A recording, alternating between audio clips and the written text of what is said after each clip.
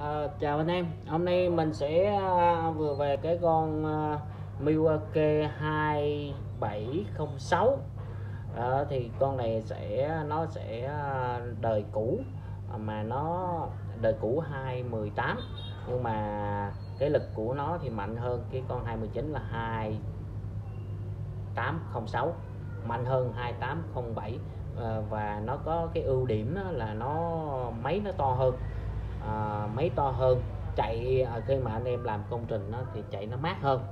À, thì à, à mát hơn so với 2706 và cái nhược điểm là nó nặng hơn so với 2706 2706 thì cái thân nó nhẹ nhẹ hơn và nó sẽ gọn à, hơn chút xíu. À, thì à, em này á thì à, nó sẽ điều chỉnh 4 cấp độ. 2806 ở 2804 thì nó không có điều chỉnh cấp độ ở dưới này à, 1 2 3 4 5 à, cái năm là cái on key đỡ mình. À, cái này mình sẽ thao tác là mình à, tải một cái phần mềm à, on key rồi à, mình sẽ điều điều chỉnh qua cấp đó. Thì trong cái video trước của em là cái bộ mà 2996 em đã có giới thiệu rõ ràng à, và anh em à, nào có quan tâm á, thì tham khảo về cái à, à, trong cái YouTube của em thì em có review lại à, toàn bộ cái kết nối của à, 2806 và 2807 thì mình kết nối cũng à, như nhau à, không khác gì à, cái đầu tiên thì anh em sẽ à, tải một cái app à, về cái à, Android hoặc à, OS à, thì à, rồi à, thì mình sẽ đăng nhập ở bên à, ở bên nước ngoài mình sẽ đăng nhập à, vào cái tài khoản đăng ký của à, hãng Miu. Phải đăng ký trước nha anh em. À, đăng ký trước rồi mình mới được à, kết nối. À, nhiều anh em nói tại sao mà à, không có à, tải được về. À, đầu tiên là mình đổi cái mã vùng của cái máy điện thoại mình qua nước ngoài. À, xong thì à, mình sẽ đao về ra về thì mình đăng ký à, thành viên trên cái à, trang web của họ thì họ sẽ cấp ừ, cái mã đăng nhập. Thì mình sẽ đăng nhập vào cái app đó. À, và à, em nói sơ qua như vậy thôi tại vì em cũng đã có cái review ở trên cái à, à, YouTube của kênh Tùng Tùng rồi.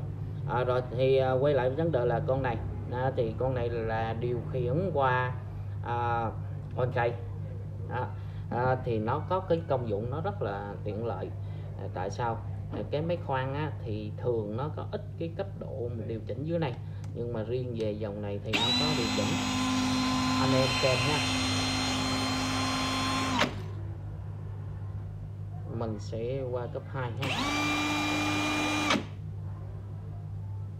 Cấp 3 cấp 4 rồi à, thì à, nó sẽ à, tại vì là mình đỡ cái con này thì nó sẽ à, tắt tự tắt nha anh em. Trên này nó sẽ à, điều khiển điện đó. À, đỡ như vậy thì nó sẽ kết nối với cái thiết bị của mình cần kết nối. À, và con này ba chức năng cũng giống như bình thường. À, thì à, và hai cấp độ điều chỉnh ở trên này.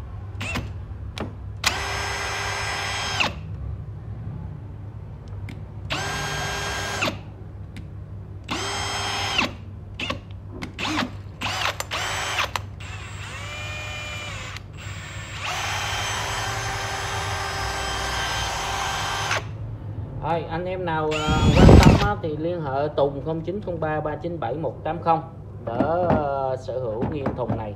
Thùng này á, thì uh, có một thùng và cái máy và cái uh, thùng máy và cái sạc. Sạc thì uh, em sẽ lên phi cho anh em uh, lên điện 220 hoặc là 120 tùy anh em lựa chọn.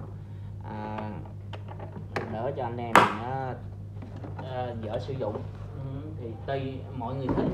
Thế nào thì à, sẽ uh, uh, review cho đó. Đó. Thì uh, em cũng có nhiều cái Milwaukee rồi nói chung là nhiều hàng uh, của uh, của hãng anh em ha. Anh em an tâm.